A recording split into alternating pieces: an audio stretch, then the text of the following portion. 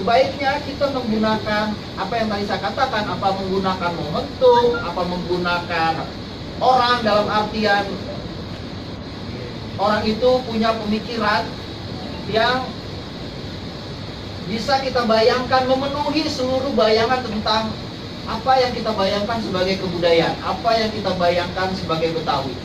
Misalnya kalau orang apakah seorang misalnya Firman Mutako itu mewakili misalnya apakah orang seperti SM Ardan itu mewakili? Apakah orang seperti Tamrin mewakili? Atau udah terlalu sering harus yang lain? Apakah orang seperti Benjamin oh Benjamin sudah menjadi ikon.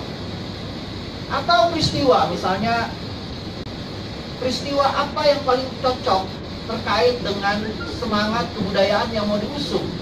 Semangat kebetawian yang mau diusung? Misalnya perhimpunan kaum Betawi. Nah, kalau perhimpunan kaum Betawi yang mau dipakai yang mana? Yang tahun 18 atau yang tahun 23? Nah, hal-hal seperti ini menurut saya basis berangkatnya dulu yang harus kita dudukkan dengan jelas. Basis berangkatnya mau seperti apa? Nah, yang kedua menurut saya juga yang lebih penting adalah kita mungkin tidak terlalu rumit untuk memikirkan proses-proses yang sifatnya dukungan legalistik. Karena saya baca di papernya Bang Yahya, Bang Yahya tuh menyebut aneka macam aturan perundangan yang bisa menjelaskan bahwa kemungkinan politik, dukungan politik dalam artian konsideran gitu ya, perundangan dari dari mulai yang tingkatnya nasional sampai yang tingkatnya lokal itu kaya sekali. Dari Undang-Undang Nomor 5 tahun 2017 ada Perda Nomor 4 2015 ada Pergub. 2016 ada Pergub 2017 tentang tentang Betawi semua ini. Dari pikiran teman-teman itu nanti kita bisa membuat konstruksi bayangan tentang kebudayaan Betawi itu. Ini yang menurut saya hari ini menjadi Eh, sangat penting. Selain itu menurut saya juga sangat penting adalah juga memikirkan bagaimana apabila proses jalan menuju hari dan budaya Betawi ini sudah diketemukan momentumnya adalah menggunakan kekuatan 2,7 juta orang Betawi sebagai basis berangkatnya hari itu sendiri. Persoalan besarnya adalah saya khawatir Jangan-jangan nasibnya akan sama seperti perda kebudayaan Betawi, perda apa ya? Pelestarian dan kebudayaan Betawi. Menurut saya dia menjadi istilahnya mau setung macan kertas. Dia hebat di atas kertas, tapi dalam pelaksanaannya, dalam realitanya tidak seperti itu. Jadi kita punya banyak sekali apa bekal secara politis tapi cara kita mengelola bekal politis itu yang menurut saya harus diperbincangkan. Dan saya pikir yang paling punya kesempatan untuk bagaimana caranya memanfaatkan bekal itu adalah orang Betawi itu sendiri. Seberapa serius pertanyaannya adalah orang Betawi dengan kebudayaan Betawi. Sudah begitu banyak bekalnya, sudah empat tahun tapi sudah sampai di mana keseriusan kita terhadap kebudayaan Betawi? Ini menurut saya hal yang penting kita diskusikan hari ini. Sejarah menyediakan banyak sekali hari, tanggal, bulan yang bisa dirayakan sebagai hari Betawi, hari budaya Betawi, hari sejarah Betawi, hari peradaban Betawi. Mau lebih spesifik lagi, Hari Sastra Betawi. Mau lebih spesifik lagi, Hari uh, apa etnisitas dan multikulturalitas orang Betawi bisa banyak sekali. Persoalannya adalah kita tidak pernah mau mau merayakan itu. Tanggal 1 Januari tahun 1923 itu perhimpunan kaum Betawi itu lahir. Kalau mau pakai yang tahun 23. Kalau mau pakai yang tak berani. Kalau mau pakai yang tahun 18, eh tahun 1918 yang dipakai Tamrin bisa. Sama perhimpunan kaum Betawi juga. Sekarang saya tanya, tanya tanggal 16 Februari lalu ada nggak yang merayakan Hari Betawi? Tidak ada. Padahal itu hari lahirnya orang Betawi yang menurut saya dalam biografi hidupnya salah satu yang paling keren. Namanya Muhammad Husni Tamrin. Nggak ada yang merayakan orang Betawi. Udah dekat ini ya, firman Muntako tanggal 5 Mei. Ada nggak yang merayakan merencanakan? Nggak ada. Jadi dalam satu tahun ada banyak sekali hari, bulan, dan tanggal. Itu yang harus kita rayakan dan perda itu menurut saya mengarahkan ke sana. Mengarayakan kita rayakan selama satu tahun yang kita punya aset yang tadi Bang Yaya cerita. Aset bagaimana pintu gerbang nasionalisme Indonesia itu dimulai dari pemberontakan sosial. Dan itu keluar batas-batas dari DKI.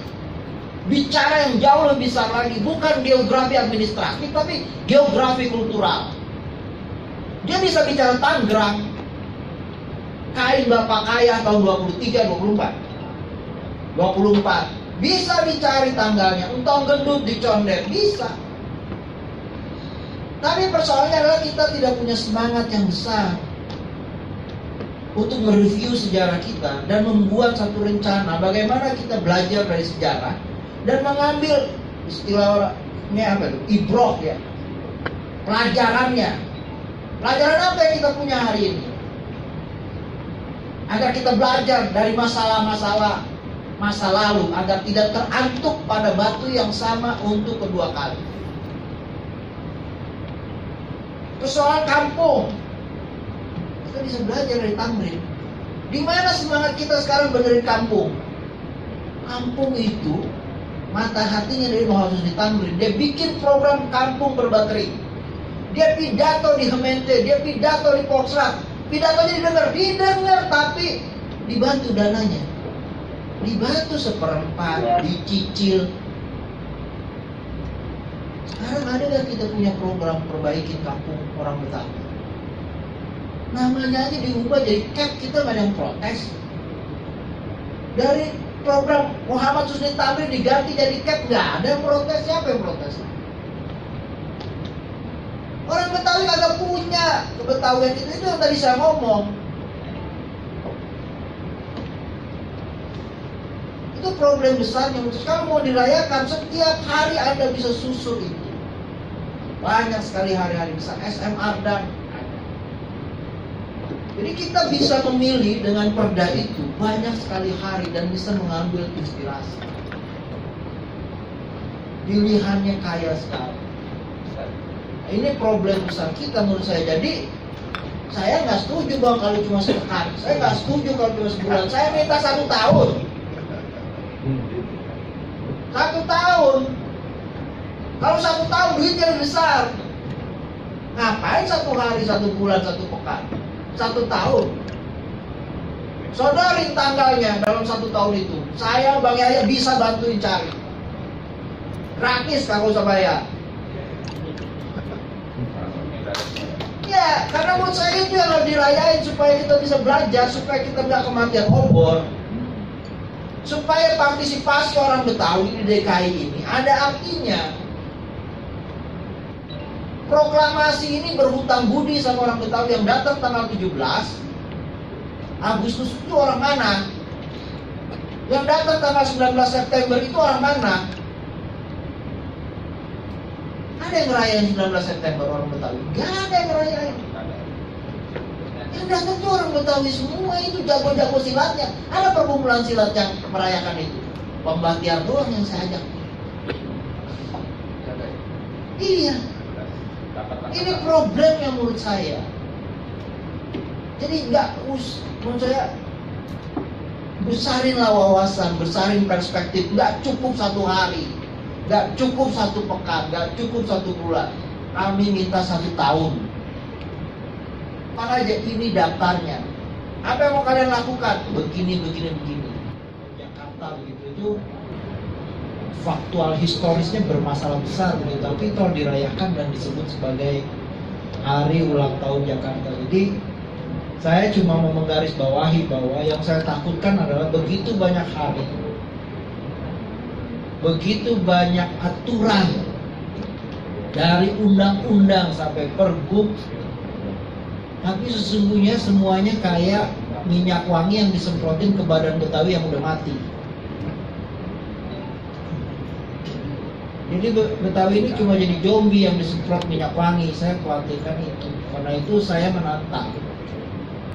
Kagak cukup satu hari, nggak cukup satu pekan, nggak cukup satu bulan. Lalu mau merayakan Betawi, merasa menjadi orang Betawi. Terlalu banyak peristiwa yang kita abaikan dalam kalender kita selama satu tahun untuk mengenang Betawi. Itu persoalan besar yang menurut saya.